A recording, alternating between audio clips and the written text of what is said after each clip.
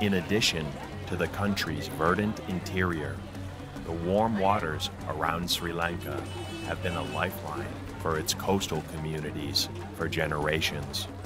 Negombo is the largest fishing city in the country.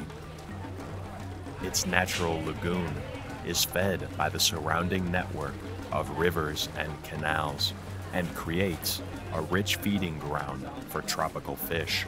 The fishermen of Negombo rely mainly on their traditional knowledge of the seasons to bring in their catches from September through April.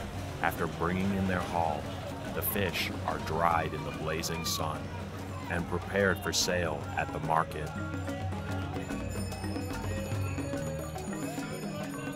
Negombo has been given the nickname Little Rome because of the prevalence of Portuguese era Catholic churches found throughout the township. According to Sri Lankan Christian traditions, the Apostle Thomas preached the gospel in Sri Lanka in the first century AD.